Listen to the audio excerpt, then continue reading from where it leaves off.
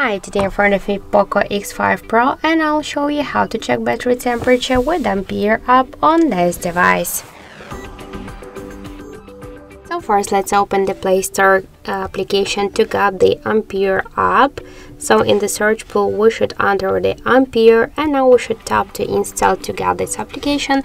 That's why just let's uh, tap um, let's wait a couple of seconds then click to open the app. Yes I agree. Be close tap to OK. And now we can see here information about our battery temperature uh, and we can see that uh, the temperature is the 29 degrees. So that's it. Thank you for watching. And if you find this video helpful don't forget to leave a like comment and to subscribe our channel